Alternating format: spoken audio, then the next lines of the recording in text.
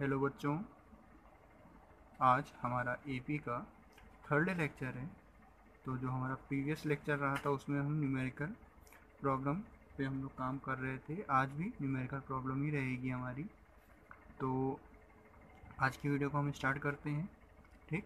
तो यहाँ पे हम देख रहे होंगे कि आप लोग देख रहे होंगे कि पहला क्वेश्चन दे रखा है। कह रहा है find the first term of an A P whose eleventh term is thirty eight and the sixteen term is seventy three तो अगर हम देखें तो हमसे कह रहा है कि जो थर्टी फ़र्स्ट टर्म को हमको यहाँ पे निकालना है। ठीक? एपी का। और जहाँ पे इलेवेंथ टर्म है उस एपी का, वो थर्टी एट दे रखा है और जो सिक्सटीन टर्म है वो सेवेंटी थ्री दे रखा है। तो बच्चों, जैसे कि यहाँ पे इलेवेंथ टर्म की बात बोल रहा है तो हम इलेवेंथ टर्म को कैसे डिनोट करेंगे? हमने कल बताया था कि हमसे बोल रहा है कि इलेवेंथ टर्म जो है वो थर्टी एट है तो हम लिखेंगे कि a eleven is equals to thirty eight और बेटा अगर हम इसको और सही से लिखें तो ए इलेवन को हम क्या लिख सकते हैं? जनरल टर्म में a plus ten d is equals to thirty eight ठीक? तो हम इसको नंबर वन दे देंगे इक्वेशन पे। ठीक?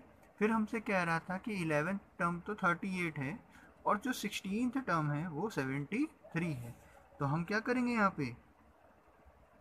ए सिक्सटीन लिखा। कितना दे रखा बेटा? Seventy three. तो हमने सेवेंटी थ्री लिख लिया। फिर अब हम इसको क्या लिख सकते हैं जनरल टर्म में? सिक्सटीन टर्म को। A plus fifteen d. A plus fifteen d की जो वैल्यू है वो कितनी हो गई हमारे पास? Seventy three.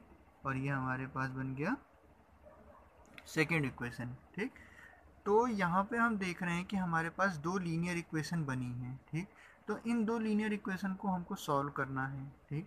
तो अभी आने वाली क्लासेस में हम लोग लीनियर इक्वेशन पढ़ेंगे तो वहाँ पे हम इन इक्वेशंस को सॉल्व करना सीखेंगे।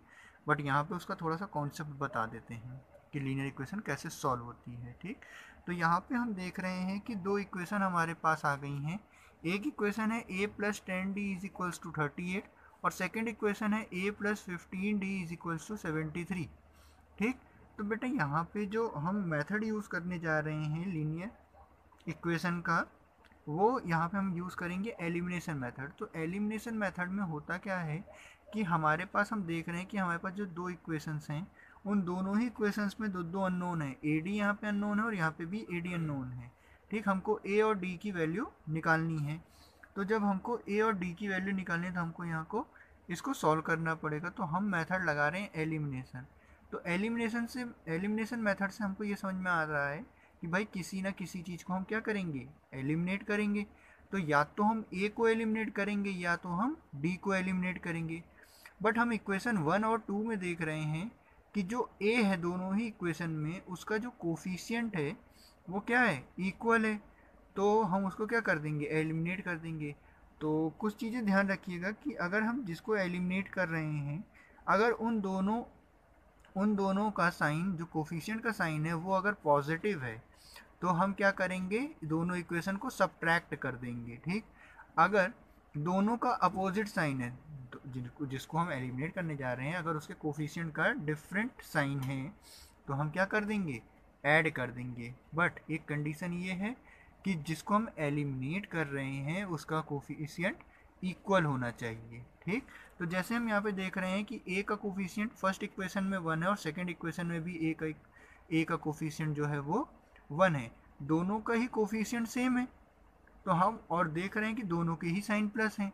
तो भाई, जब दोनों के ही साइन प्लस हैं तो हम इक्वेशन को क्या करेंगे? सब्ट्रैक्ट तो हम यहाँ लिख देते हैं equation one minus equation two तो हम ऐसा करने पे हमको क्या मिलेगा? A plus ten d is equals to thirty eight a plus fifteen d is equals to seventy three हमने क्या किया? सब्ट्रैक्ट किया। तो बेटा देखो, जब सब्ट्रैक्ट कर रहे हैं तो अगर यहाँ पे प्लस है, इसके आगे प्लस का साइन है तो यहाँ माइनस लग जाएगा। यहाँ पे प्लस है तो यहाँ इसके नीचे माइनस लग जाएगा, और यहाँ पे प्लस है तो यहाँ पे माइनस अब हमने देखा, भाई ये ए प्लस का है, अब इस इस ए के लिए इसके नीचे वाला जो साइन है वो वर्क करेगा। तो मतलब ये वाले ए का जो साइन है वो निगेटिव है। तो a positive a negative cancel हो गया।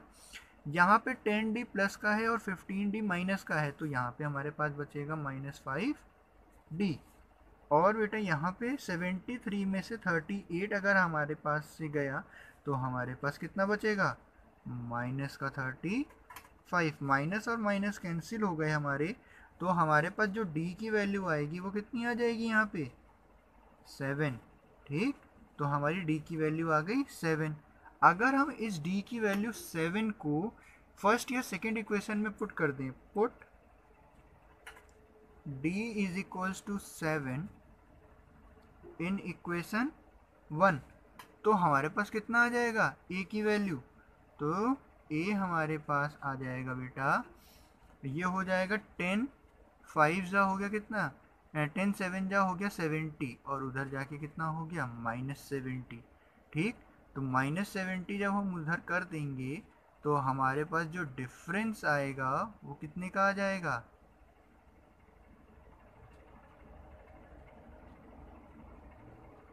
जो डिफरेंस आएगा, वो कितने का आएगा बताइए? तो यहाँ पे हो जाएगा thirty eight minus seventy means a बराबर हमको मिल जाएगा कितना? थर्टी टू वो भी माइनस साइन के साथ, ठीक? तो माइनस का थर्टी टू जो है वो ए की वैल्यू है। और हमसे क्वेश्चन में बोला था थर्टी फ़र्स्ट टर्म निकालो। तो therefore thirty first term को हम क्या लिखेंगे? ए थर्टी वन और इसका जनरल टर्म क्या लिख सकते हैं? ए प्लस थर्टी डी तो ए की वैल्यू बेटा हमारे पास कितनी आ गई अभी? माइनस थर्टी टू, ठीक? फिर प्लस थर्टी इंटू सेवन तो ये माइनस थर्टी टू और प्लस टू हंड्रेड टेन तो ये हमारे पास बचा। अगर हम 210 में से 32 को घटा दें तो हमारे पास कितना बचेगा? बचेगा 178 ठीक? कोई दिक्कत? ठीक। तो अब हम चलते हैं अपने नेक्स्ट क्वेश्चन की तरफ़। ये रहा हमारा नेक्स्ट क्वेश्चन तो नेक्स्ट क्वेश्चन हमसे क्या कह रहा है? An A P consist of 50 terms, of which third term is 12 and the last term is 106 मतलब 106 means 106 find the 29th term कह रहा है कि हमारे पास एक AP है, ठीक? कंसिस्ट ऑफ़ 50 टर्म्स मतलब उसमें टोटल 50 टर्म्स है। मतलब जो लास्ट टर्म है वो कितना है? ए फिफ्टी ठीक? Of which thirteen term third third term is twelve means बेटा हमसे कह रहा है कि जो इस ए पी का जो थर्ड टर्म है मतलब ए थ्री वो कितना दे रखा है? ट्वेल्व तो भाई इसको जर्नल फॉर्म में हम क्या लिख सकते हैं? ए प्लस टू डी बराबर ट्वेल्व। ये हमारी हो गई फ़र्स्ट इक्वेशन। और कह रहा है and the last term is one zero six अब हमसे कह रहा है स्टार्टिंग में कि एक ए पी है एन ए पी कंसिस्ट एक ए पी है, जो कि कंटेन करती है या कंसिस्ट करती है फिफ्टी टर्म्स मतलब उसमें पचास टर्म से ज़्यादा नहीं है। तो भाई, उसमें जो लास्ट टर्म होगा, वो पचासवा टर्म होगा, ठीक? और हमसे यहाँ पे कह रहा है the last term is one zero six मतलब कहने का मतलब हुआ कि जो फिफ्टी जो फिफ्टी टर्म है, वो वन ज़ीरो सिक्स है। तो जब हम इसको सॉल्व करेंगे तो फिफ्टी टर्म को जब अगर हम जर्नल फॉर्म में लिखेंगे तो ए प्लस फोर्टी डी लिखेंगे। इसकी वैल्यू हो गई one zero six second equation हो गई। अगर आप यहाँ पे देखें तो फिर से एलिमिनेशन मेथड लगेगा। फिर से वही है कि भाई यहाँ पे ए का जो कोफिशियंट है सेम है सेम साइन है। तो क्या कर देंगे? इक्वेशन वन में से हम इक्वेशन टू को सब्ट्रैक्ट कर देंगे, ठीक? तो ये हो जाएगा a plus two d is equals to twelve a plus forty nine d is equals to one zero six तो भाई ये प्लस तो माइनस माइनस यहाँ पे प्लस है तो यहाँ पे भी माइनस यहाँ पे भी प्लस है तो माइनस तो बेटा ये ए से ए हमारा कैंसिल हो गया। यहाँ बचा minus forty seven d is equals to बेटा यहाँ पे वन ज़ीरो सिक्स में से अगर ट्वेल्व गया तो हमारे पास कितना बचेगा? बताइए। माइनस का नाइन्टी फोर। तो बेटा माइनस से ये माइनस कैंसिल हो गया तो डी की वैल्यू हमारे पास आ गई टू। ठीक? तो अब हमसे कह रहा है कि हमको फाइंड आउट करना है ट्वेंटी नाइन्थ टर्म ठीक? तो ट्वेंटी नाइन्थ टर्म का मतलब हुआ बेटा कि हमको ए ट्वेंटी नाइन की वैल्यू फाइंड आउट करनी है। अगर हम इसको जर्नल फॉर्मेट में लिखें तो a plus twenty eight d होगा कि नहीं होगा? ठीक? तो भाई ए की वैल्यू हमारे पास कितनी है? ए की वैल्यू हमारे पास कितनी है? अच्छा हमने ए की वैल्यू तो निकाली नहीं भाई डी तो निकाल लिया था यहाँ पे ए नहीं निकाला ना? अगर हम क्या कर दें पुट कर दें d is equals to two in equation one तो हमको ए मिल जाएगा तो ए हमारा कितना हो जाएगा बेटा यहाँ पे? ए जो हमारा हो जाएगा, वो हो जाएगा एट ठीक? अब हम ट्वेंटी नाइन्थ टर्म निकाल सकते हैं तो ए की वैल्यू हो गई eight plus twenty eight d की वैल्यू आ गई टू तो बेटा जब हम इसको सॉल्व करेंगे तो eight plus twenty eight into two कितना हो जाएगा? फिफ्टी सिक्स और एड ऑन कर देंगे तो सिक्सटी फोर मतलब जो ट्वेंटी नाइन्थ टर्म है, वो कितना है हमारे पास? सिक्सटी फोर कोई दिक्कत यहाँ तक? ठीक? तो अब हम चलते हैं अपने नेक्स्ट क्वेश्चन की तरफ़। तो ये रहा हमारा बेटा नेक्स्ट क्वेश्चन ये कह रहा है if the third and the ninth term कह रहा है कि भाई जो थर्ड और नाइन्थ टर्म है, किसका? ए पी का। Are four and minus eight मतलब जो थर्ड टर्म है वो फोर है एंड जो नाइन्थ टर्म है वो माइनस एट है रिस्पेक्टिवली रिस्पेक्टिवली मतलब जैसे थर्ड एंड नाइन्थ बोला तो भाई उसके बाद जो नंबर भी दे रखा है, फोर एंड माइनस एट, वो भी उसी टर्म के वैल्यू को डिनोट कर रहा है। तो भाई हमसे बोला गया कि third term means a three की जो वैल्यू है, वो दे रखी है फोर तो ए थ्री का जो जर्नल टर्म होगा जर्नल फॉर्मेट होगा, वो हो जाएगा ए प्लस टू डी मतलब ए प्लस टू डी की वैल्यू हो गई फोर तो ये हो गया हमारी इक्वेशन नंबर वन फिर हमसे बोल रहा है कि जो नाइन्थ टर्म है वो है माइनस एट तो इसका मतलब हुआ कि ए प्लस एट डी की वैल्यू हो गई माइनस एट ये हो गया इक्वेशन नंबर टू तो बेटा देखो, यहाँ पे फिर से एलिमिनेशन मेथड लग रहा है। तो हम यहाँ पे क्या करेंगे? इक्वेशन वन में से इक्वेशन टू को घटा दें तो ए हमारा एलिमिनेट हो जाएगा।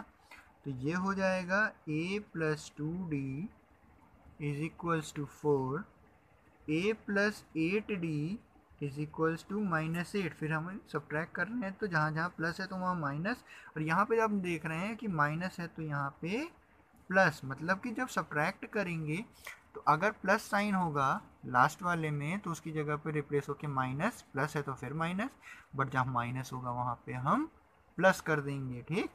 तो ये तो कैंसिल हो गया। यहाँ पे आ जाएगा बेटा माइनस का सिक्स डी और ये हो जाएगा ट्वेल्व जब हम इसको सॉल्व करेंगे तो हमारे पास डी की वैल्यू जो आएगी, वो आएगी माइनस टू ठीक? अब हमको ए लें फिर उसके बाद हमसे जो भी टर्म बोलेगा, हम उसको निकालने की कोशिश करेंगे। तो देखिए, हम यहाँ पे निकाल लेते हैं ए की वैल्यू तो हम क्या करेंगे? पुट डी बराबर minus two in equation number one तो ए की जो वैल्यू है हमारे पास, वो आ जाएगी एट कितनी आ जाएगी? एट ठीक ए की वैल्यू एट आ गई बट हमसे कह रहा है which term of this A P is zero कह रहा है विच टर्म मैंने जब आपसे कल बोला था कि बेटा जब विच टर्म बोल दे तो समझ जाओ ए एन की बात कर रहा है। तो विच टर्म बोला ना तो अब विच टर्म जैसे ही बोला तो आपने माना कि वही विच टर्म मतलब a n is zero is का मतलब मैंने बताया था कि इक्वल टू होता है मैथ्स के टर्म में। तो which term of A P is zero मतलब which term means a n is equals to zero तो वो बोल रहा है कि एन कब हमारा ज़ीरो होगा? तो हमको इसको सॉल्व करके बताना है। तो अब हम एन के लिए क्या करेंगे? एन का फॉर्मूला हमारे पास होता है ए प्लस ब्रैकेट में एन माइनस वन डी हमने रखा और ये किसके बराबर है? ज़ीरो के। अब हमारे पास ए की भी वैल्यू है और डी की भी वैल्यू है।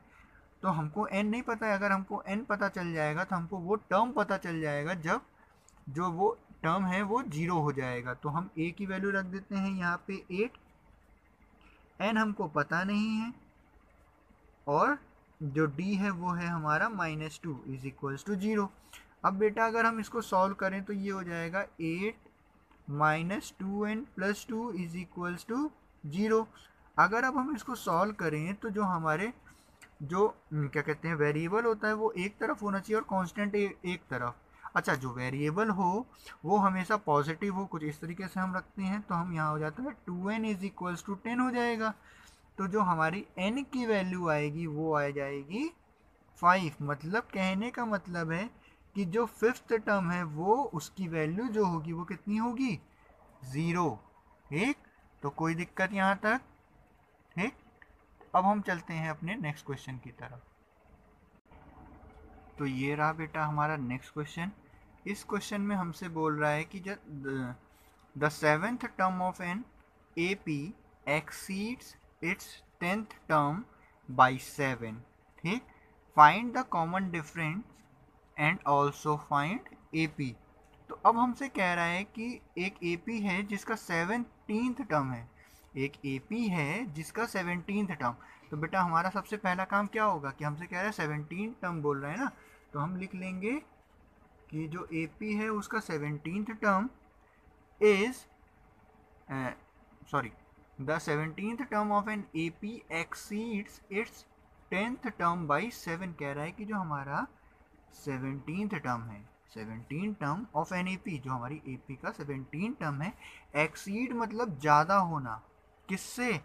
Its tenth term by seven वो कह रहा है कि जो ए पी है, उसका सेवनटीन्थ टर्म जो है, वो टेंथ टर्म से सेवन ज़्यादा है। Means a seventeen is equals to a ten plus seven तो बेटा ए सेवनटीन को हम क्या लिख सकते हैं? ए प्लस सिक्सटीन डी और ए टेन को हम क्या लिख सकते हैं? A plus nine d plus seven तो हम देख रहे हैं यहाँ पे भी ए और ये ए कैंसिल हो जाएगा। नाइन डी जब सिक्सटीन डी की तरफ़ जाएगा तो ये हो जाएगा seven d is equals to seven means यहाँ से हमारी जो डी की वैल्यू आ गई बेटा, वो कितनी आ गई? वन ठीक? तो हमसे बोला क्या निकालने को? कॉमन डिफरेंस ठीक? तो अब हमने यहाँ पे कॉमन डिफरेंस निकाल लिया। ठीक? और बेटा हमसे यहाँ पे ये भी कह रहा है कि क्या निकालना है हमको? Also find its A P तो बेटा यहाँ पे हम ए पी डायरेक्टली नहीं फाइंड आउट कर सकते हैं, क्योंकि यहाँ पे हम ए की वैल्यू को ही नहीं फाइंड आउट कर कर पाएँगे। तो हम यहाँ पे ए पी भी फाइंड आउट नहीं कर पाएँगे। थोड़ा सा करेक्शन है, इसको कट कर दीजिए। बाकी डिफरेंस तक का क्वेश्चन ठीक है। ठीक? तो अब हम चलते हैं अपने नेक्स्ट क्वेश्चन की तरफ़। तो ये रहा बेटा हमारा नेक्स्ट क्वेश्चन ये क्वेश्चन कह रहा है which term of the A P एक हमारे पास ए पी दे रखी है three fifteen twenty seven thirty nine की, ठीक? तो अब क्वेश्चन को समझिए। कह रहा है which term of the A P three fifteen twenty seven thirty nine will be one thirty two more than its fifty fourth term तो बेटा विच टर्म जैसे ही विच टर्म आप सुन रहे हैं कहीं पे भी क्वेश्चन में तो आप सीधे लिखिए ए एन आपने लिखा विच टर्म ए एन ठीक? ऑफ़ द ए पी कह रहा है, कौन सा टर्म तो भाई वो ए एन हमने मान लिया कि वो टर्म है a n of the A P A P बोल रहा है तो ए पी हमको दे दिया है विल बी वो कौन सा टर्म है जो तो विल एज ये सब जो भी आपको दिखेंगे वो समझ जाइए equal to equals to which term of the A P this will be one thirty two तो जो टर्म है, ठीक, वो कौन सा टर्म है जो फिफ्टी फोर्थ टर्म से मतलब ए फिफ्टी फोर टर्म से वन थर्टी टू ज़्यादा है हमको ये बताना है, ठीक? तो देखो बेटा, हमको टर्म निकालना मीन्स एन की वैल्यू निकालनी है, ठीक? तो अब देखो, हमारे पास ये पूरा एक इक्वेशन बन के आया। हमसे ये ध्यान रखिए आप कि क्वेश्चन में जैसे ही बोलता है विच टर्म तो विच टर्म का मतलब हो जाता है कि ए एन को बताना है। तो हम वहाँ पे ए एन लिख लेंगे। जैसे ही विच टर्म आप सुनो तो आप ए एन लिख लो अपनी कॉपी पे, ठीक? फिर उसके बाद क्या है कि हमसे कह रहा है कि एक ए पी दे दी गई। और उस ए पी में वो कौन सा टर्म है जो 132 ज़्यादा है अपने 54th टर्म से? तो हमने लिखा, भाई, कोई एक टर्म है ए एन जो कि 54 टर्म से 132 ज़्यादा है। तो अब हम ए एन का फॉर्मूला ओपन कर देंगे तो ये हो जाएगा a plus n minus one d is equals to a plus 53d plus one thirty two तो बेटा अगर हम देखें तो यहाँ से डी और डी सॉरी ए और ए कैंसिल हो गया तो हमारे पास बचा n minus one into d बराबर fifty three d plus one thirty two अच्छा अब हम, एक चीज़ आप ये जानिए कि अगर हमारे पास एक इक्वेशन है और दो अननोन है तो कभी भी हम लोग उस इक्वेशन को सॉल्व नहीं कर पाएँगे मीन कि हम उसकी वैल्यू नहीं निकाल पाएँगे। तो यहाँ पे कुछ हमको ऐसे ही दिख रहा है कि एक इक्वेशन है जिसमें एन भी है और डी भी है, ठीक? तो भाई किसी एक की वैल्यू पता हो, तब तो हम उसको सॉल्व कर पाएँगे। तो एक चीज़ ये याद रखिए कि जब भी हमको ए पी दी होगी तो हम फ़र्स्ट टर्म और डिफरेंस निकाल सकते हैं। ये मैंने कल के लेक्चर में भी आपको बताया था। तो हमारे पास जो ए पी है, उसमें जो फ़र्स्ट टर्म है, वो ए कितना है वहाँ पे? थ्री और अगर हम वहाँ से डिफरेंस की बात करें तो डिफरेंस है ट्वेल्व का, ठीक? तो यहाँ पे हम क्या करेंगे? डी की वैल्यू रख दें तो ये हो जाएगा एन माइनस वन इंटू ये हो गया बेटा twelve is equals to fifty three into twelve plus one thirty two तो बेटा देखो n minus one into twelve अगर हम फिफ्टी थ्री इंटू ट्वेल्व करेंगे तो क्या आएगा? तो देखो बेटा, थोड़ी सी कैलकुलेशन अगर आप समझो यहाँ पे तो ये दे रखा है फिफ्टी थ्री तो फिफ्टी थ्री को हम क्या लिख सकते हैं? फिफ्टी प्लस थ्री लिख सकते हैं और अब हम इसको ट्वेल्व से मल्टीप्लाई कर दें। तो देखो बच्चों फाइव की टेबल को अगर सॉरी ट्वेल्व की टेबल को अगर फाइव टाइम्स पढ़े तो सिक्सटी आता है और एक ये ज़ीरो सिक्स हंड्रेड हो गया बच्चे। और थ्री ट्वेल्व जो होता है थर्टी सिक्स अगर हम एड ऑन कर दें तो थ्री थर्टी सिक्स हो गया हमारा क्या? टोटल प्रोडक्ट मतलब यहाँ पे जो आएगी वो वैल्यू आएगी three thirty six plus one thirty two अब अगर हम इसको जोड़ें तो आ जाएगा eight six six n minus one bracket में ट्वेल्व इसकी वैल्यू आ गई। तो अब हम यहाँ से क्या करेंगे? एन माइनस वन बराबर हमारा क्या आ जाएगा? Six six eight divided by twelve अगर हम इसको डिवाइड करेंगे तो एन माइनस वन की जो वैल्यू आएगी वो कितनी आ जाएगी? बताइए। एक बार बेटा जरा कैलकुलेशन चेक करिए एरर आई है। यहाँ पे 132 था तो ये हो जाएगा बच्चे 768 और यहाँ पे भी आ जाएगा हमारा 768 डिवाइडेड बाई 12 तो जब इसको 12 से डिवाइड करेंगे तो ये हो जाएगा सिक्स टाइम्स में 72 हो गया और फोर टाइम्स में 48 तो ये हो गया 64 अब एन की वैल्यू चाहिए तो एन की वैल्यू कितनी आ गई? 65 हमसे बोल रहा था ना कि कौन सा टर्म तो हमारा जो आंसर होगा, उसमें हम लिखेंगे कि जो सिक्सटी सिक्सटी फिफ्थ वाला टर्म है sixty fifth term is 132 more than its 54th term ठीक? तो कोई दिक्कत? ठीक? तो अब हम चलते हैं अपने आखिरी क्वेश्चन की तरफ़। ठीक? तो ये रहा आज हमारे लेक्चर का आखिरी क्वेश्चन तो ये क्वेश्चन हमसे कह रहा है कि डिटरमाइन द एपी हमको एपी पता लगानी है। डिटरमाइन मतलब एपी को पता लगाओ या एपी निकाल के बतानी है।